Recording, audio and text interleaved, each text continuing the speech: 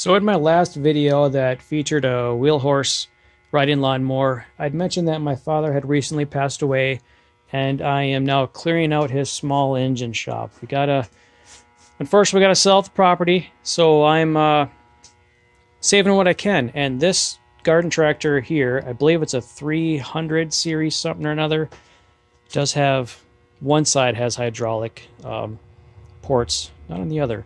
But anyways, for as long as I can remember, this tractor has been here sitting just like this. It was actually more piles were over the top of it. I've been clearing out walkways to get to it. As long as I can remember, this tractor has been sitting here just like this. I don't think my dad ever mentioned why it was originally taken apart. I don't know. I don't think this engine belongs to this tractor. Maybe it does. I think it's supposed to have a twin. I'm not sure. This newspaper is dated 1996 so I can maybe give you somewhat of an idea on this. This tractor's been sitting here for a while. I don't know why the back tires are pulled off. Um, I see the front axle has been pulled, which it's right there. The front tires are missing wheel bearings, but I see he's got a package of new wheel bearings here, so I'm guessing that's what it's for.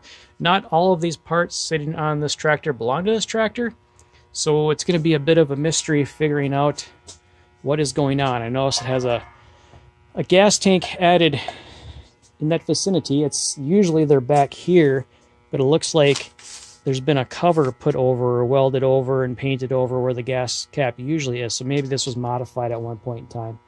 I don't know. It's going to be a mystery. I really want to try to complete it and get it actually running and driving. And uh, yeah, I've been I've been digging it out. I've actually got walkways around it now. So I'm going to take a stab at putting this thing together and making it into something. I think I have some more confirmation on how long this thing's been sitting here. Now, the, uh, I suppose you'd call that the oil pan, was wrapped up under the seat in this newspaper, which was also dated 1996. I got it cleaned out to the point where I can get to the identification tag. Turns out I was way off about the series I thought it was. It's actually a 140, not a 300, so it'd be a T058 H1 because it has one hydraulic hookup. Probably a 12 horse Kohler, which is probably what that is. And it's right around 1968, I think, to 74, which uh, makes sense on why there is a 140 hood up in the attic. So that would belong to this tractor.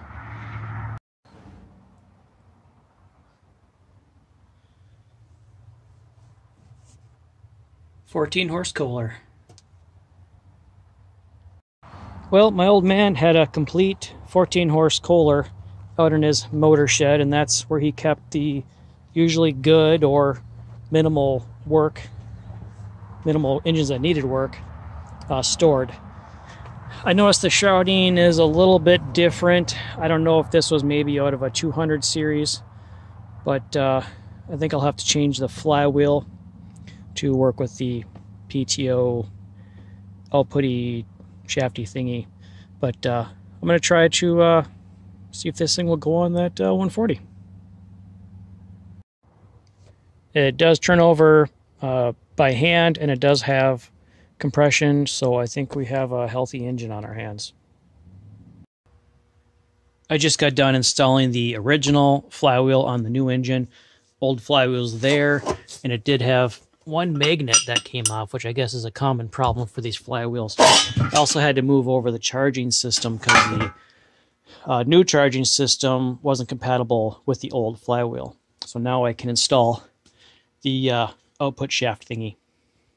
Exciting times. I've got an engine mounted, drive shaft connected, and a battery hooked up. Give her a little little juice. See if she pops. Oh, come on. Ah, look at that. we are on to something.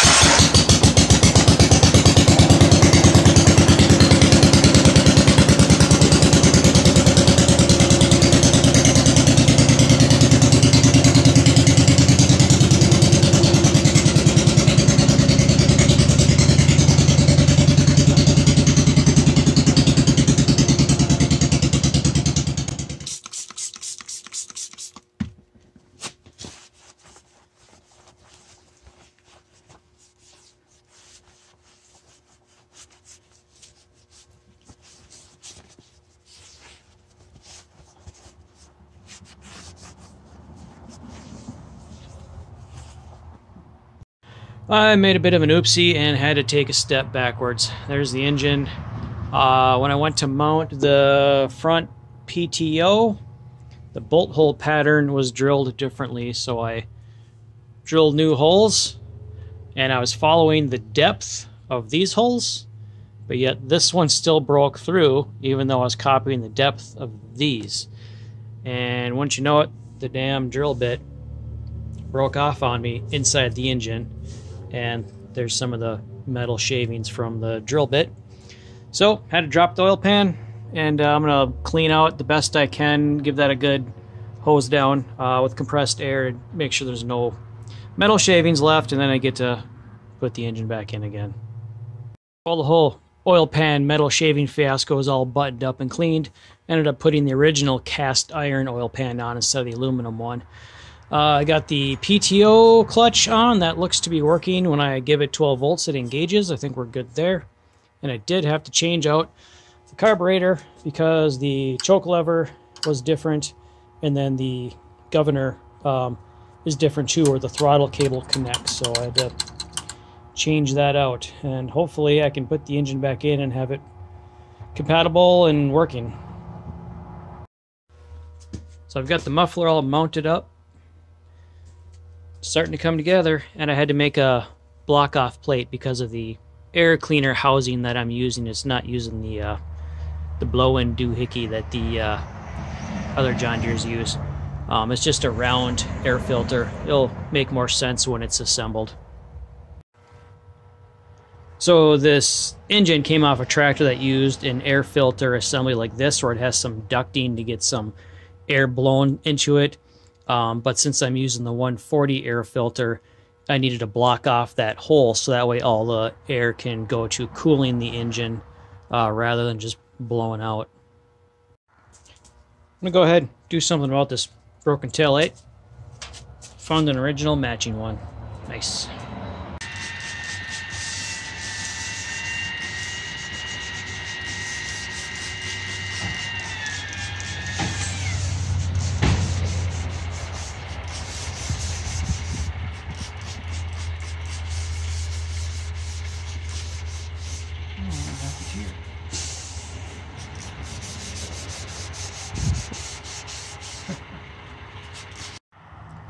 Well, here she is. Just got it done.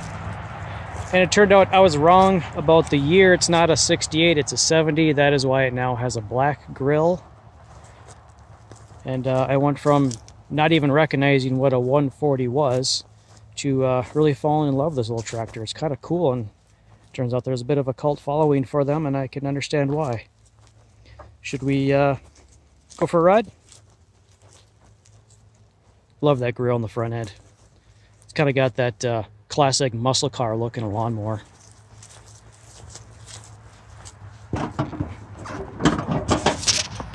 Oh, and it's got the independent brakes for really tight steering. Uh, hydro deck. Let's just go ahead and start it.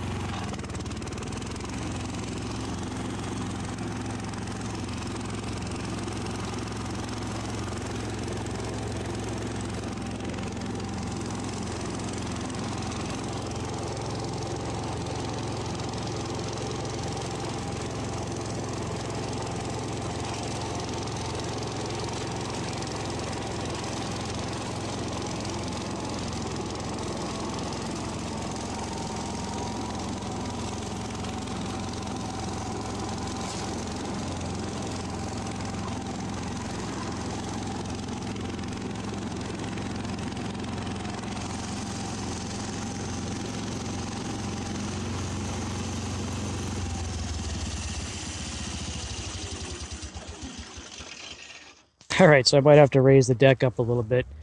Got pretty close to the ground. Anyways, runs like a champ. Love it. So, I think that's it for this one.